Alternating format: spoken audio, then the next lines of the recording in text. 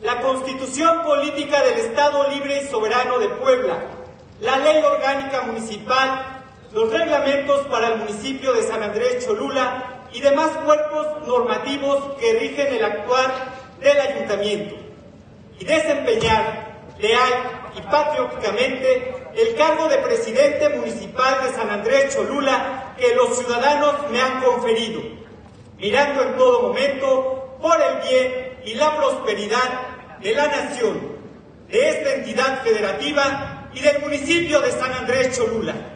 Si así fuere, que la ciudadanía me lo reconozca, y si no, que me lo demande.